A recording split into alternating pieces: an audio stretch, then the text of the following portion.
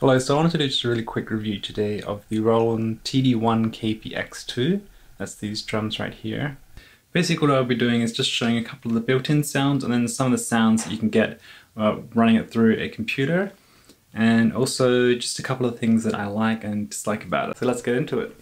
So first of all, I'm just going to show you what it sounds like unplugged. This is completely without any sounds and just what the pads sound like themselves.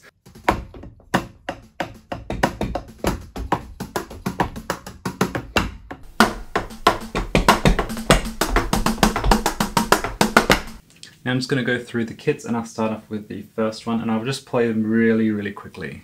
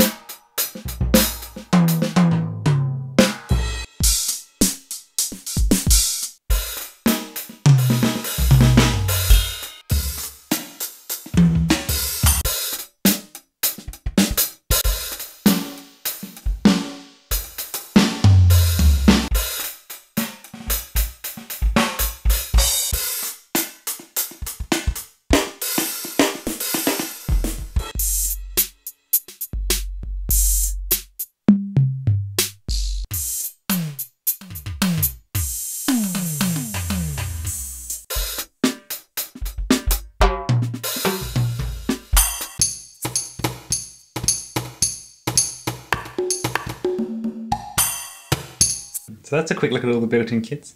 My favourite is number three, which is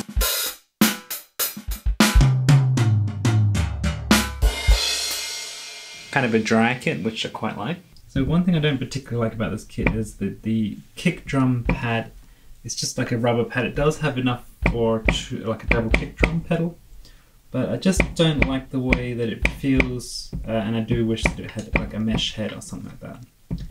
And if you notice, if you sometimes when you kick the pad, it can trigger the ride cymbal. You can trigger the ride pedal, which is a little bit annoying, but it's easy to edit out if you're going to be recording directly with the MIDI. So another thing I don't particularly like is the hi-hat It's just like this one on its own stand here, and to get like the actual the actual closed hi-hat sound, like a tight closed hi-hat sound, you have to be like right above the actual hi-hat. If you go to the edge, it gives you more of like a choked sound. And so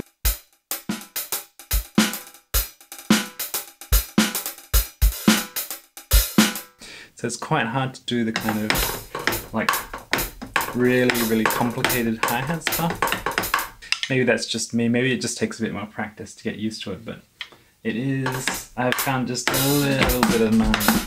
But otherwise it sounds pretty good. So one good thing with this particular kit is that you get this newer hi-hat pedal. And you hear, you get quite a lot of expressiveness with it. And you can even splash with it.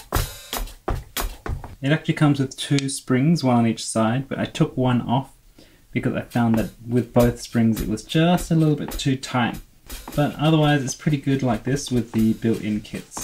Something else I noticed while playing this kit is that when I hit the cymbals, they often like kind of lower themselves down. So they kind of get lower as I play them and it's a little bit annoying the adjustment that they have. So the only adjustment the cymbals have on this kit is this kind of latching mechanism. And it's not the most secure and it doesn't hold it in position like that. So when I'm playing, it often goes like into that position where I wanted to stay like that. A little bit annoying, but definitely something you can get used to. Now another thing is that the, the cymbals on the built-in module are chokeable, but I haven't found a way how to choke them whilst it's plugged into my computer through MIDI, but I'm sure there's a way to do it. So that's just a really quick review about some of the good and bad things about this kit. Now, um, I didn't actually cover the folding of it because there's so many clips online of it being folded and unfolded and through the official channels. There's also a lot of clips of people actually playing the kit with all the different built-in sounds. So I thought I'd just show you a couple of the ways that you can actually use this plugged into your computer. I did do a separate video if you want to click up on the top right to see that of how to plug it in and set it up. I'm just going to show you a couple of kits from Addictive Drums because in my experience that's been one of the ones that works the best straight out of the box. I'll also throw in a couple of clips of using it with Superior Drummer 3 which is also a really great drum VST if you want to use this as a triggering kit. But overall, basically what I would suggest that if you're getting this for a practice kit or because it's compact, I think it is a pretty good kit for what it does. And while it's easy to fold and unfold, you're probably going to spend, it's probably going to spend most of its time unfolded, just set out, ready to play. Because I find that if you fold it up, you probably won't be playing it that much. I got this one because I have a small room that I need to use it in, so space is definitely an issue for me.